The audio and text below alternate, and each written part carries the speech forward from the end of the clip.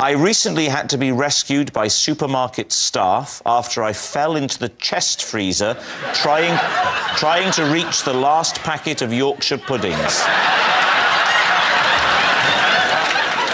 So you've fallen in. Yes. Talk us through the next bit. Look, look. Imagine, right? Imagine that this. Imagine this. This. This is the freezer, okay? Right. So I am here, and I, I'm looking, and I'm looking around. There's, there's nobody. So I just. Ah, yes. Oh, okay. I'm going like that, and I'm, and I'm going like that, and I'm going, and I'm going,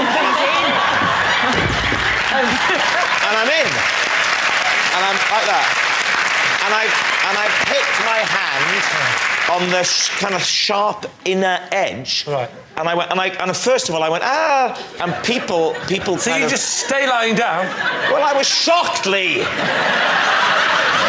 and and I, as I, I looked, my little head peeped up over the top, and some people, some Welsh people, because it was Cardiff, came over and said, "Are you all right?"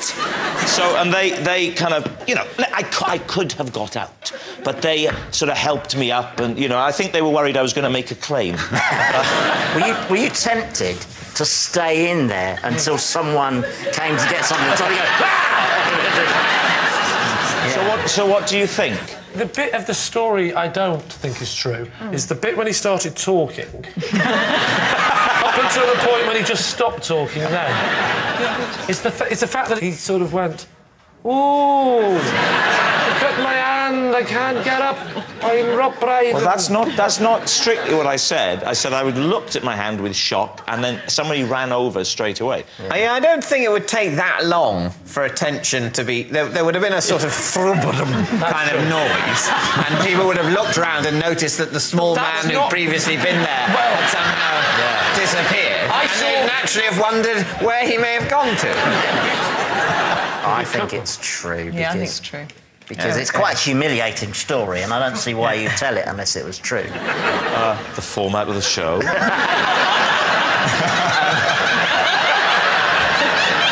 I don't see why you tell it if it wasn't true.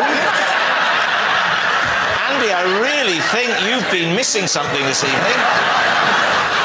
So, David, what are you saying? Given I what think we think Poirot it's has true. said, yeah. I think we think it's true. You think it's true? Yeah. You think it's a lie? Well, I can tell you it is a lie. Ah.